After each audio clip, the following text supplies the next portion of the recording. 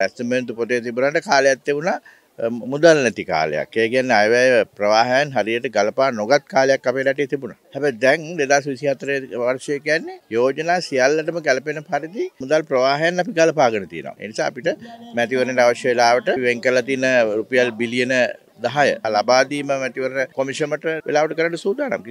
ආර්ථිකමය පිම්මක් පැනලා ජනතාවට බොහෝ හිතන්න දේ තියෙන වෙලාවක රාජ්‍ය නායකයා තෝරගෙන එතනින්ම පටන් ගත්තාම හොඳයි කියලා මම නම් හිතන්නේ මේ වෙලාවේ අවශ්‍ය හොඳ නායකයෙක්නේ.